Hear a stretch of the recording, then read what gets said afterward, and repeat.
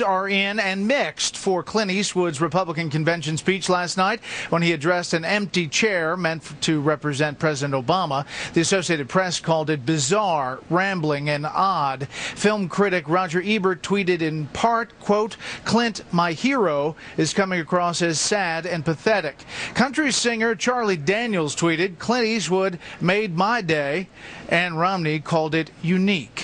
President Obama tweeted this picture with the caption, This seat's taken. The Romney camp defended Eastwood, telling the Daily Beast's Howard Kurtz, quote, We know it played well in the hall. I think it played well in the living room. We're not really concerned about how it played in the green room. The speech also prompted people to upload photos of mostly empty chairs with the hashtag Eastwooding. New York.